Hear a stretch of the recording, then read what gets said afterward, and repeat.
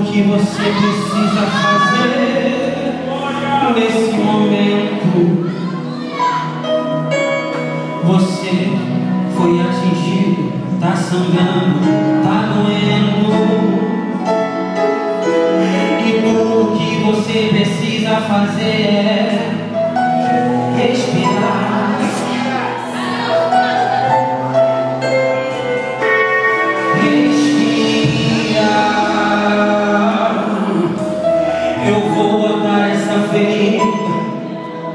não posso te perder. Eu recebi ônibus do general e ele volta com você. A gente dá um jeito, mas aqui você não vai ficar. E eu não tenho nojo de você, não é porque você que bom soldado não é. Eu sei o seu valor, sei o que você enfrentou. Eu vou